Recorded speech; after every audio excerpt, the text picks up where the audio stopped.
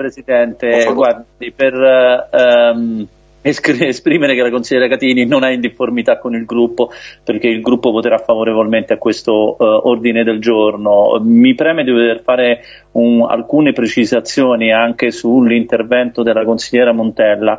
Eh, questa amministrazione ha posto una grandissima attenzione alla questione di Roma metropolitane.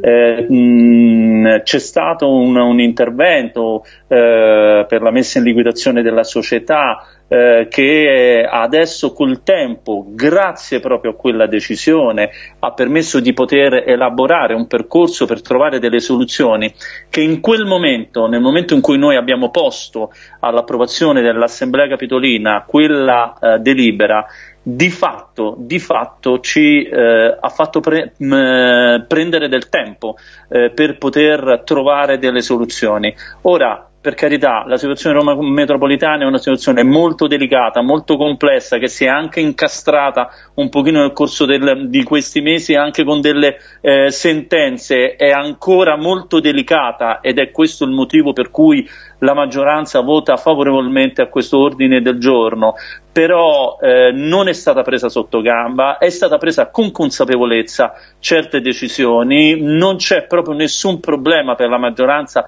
prendere delle decisioni e magari anche rivederle nel corso del tempo, ma vorrei sottolineare questo aspetto. In quel momento in cui abbiamo preso quella decisione è possibile che forse se avessimo dato conto, non avessimo fatto quell'azione, gli eventi sarebbero precipitati perché lo impone la legge.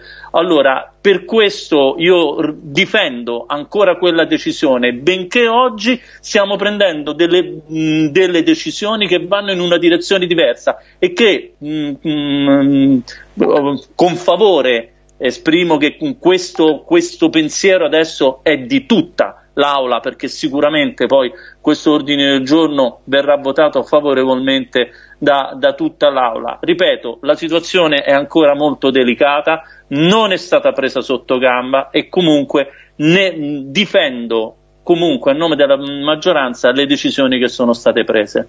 Grazie.